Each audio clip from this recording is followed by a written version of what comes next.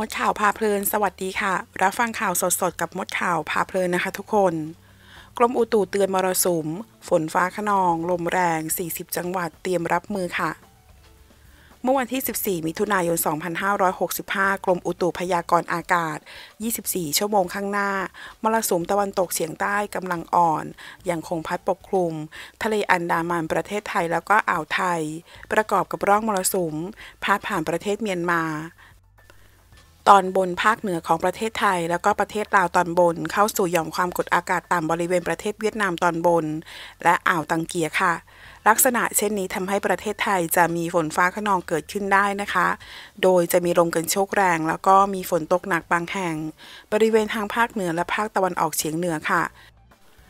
จึงขอให้ประชาชนบริเวณดังกล่าวระวังอันตรายจากฝนตกหนัก และก็ลมกันโชกแรงไว้ด้วยนะคะ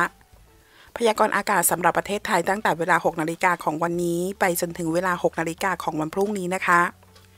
ภาคเหนือจะมีฝนฟ้าขนองร้อยละ 40 ของพื้นที่ กับมีลมกันโชกแรงนะคะ โดยจะมีฝนตกหนักบางแห่งค่ะ ส่วนมากบริเวณจังหวัดเชียงราย พะเยา และจังหวัดน่าน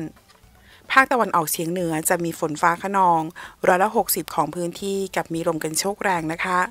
โดยจะมีฝนตกหนักบางแห่งบริเวณจังหวัดหนองคาย บึงกาฬ หนองบัวลำพู อุดรธานี สกลนคร นครพนม กาฬสินธุ์ มุกดาหาร ร้อยเอ็ด และยะโสธรค่ะ ภาคกลางนะคะจะมีฝนฟ้าขนองร้อยละ 30 ของพื้นที่ ส่วนมากบริเวณจังหวัดกาญจนบุรี ราชบุรี อุทัยธานี นครสวรรค์ ชัยนาท นครปฐม สมุทรสงคราม และสมุทรสาครค่ะ ภาคตะวันออกจะมีฝนฟ้าขนองร้อยละ 30 ของพื้นที่ส่วนมากบริเวณจังหวัดปราจีนบุรีฉะเชิงเซาชลบุรี จันทบุรี แล้วก็จังหวัดตราดค่ะภาคใต้ฝั่งตะวันออกจะมีฝนฟ้าขนองร้อยละ 40 ของพื้นที่นะคะ ส่วนมากบริเวณจังหวัดเพชรบุรี